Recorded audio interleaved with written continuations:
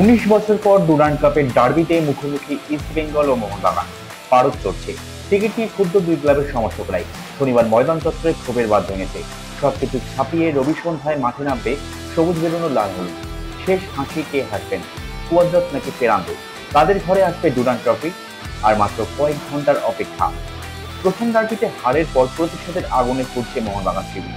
এই ফাইনালকেই বদলাল মঞ্চ হিসাবে বেছে নিতে চাইছেন কামিন্স সাদিকুরা এদিকে দীর্ঘদিন পর কোনো টুর্নামেন্টের ফাইনালে উঠে আবেগ বাদ মানছে না লাল হলুদে। এই ম্যাচ জিতলে আইএসএল এর লড়াই আরও জমে যাবে। সেই তাগিদেই মাঠ ভরাতে তৈরি লাল হলুদ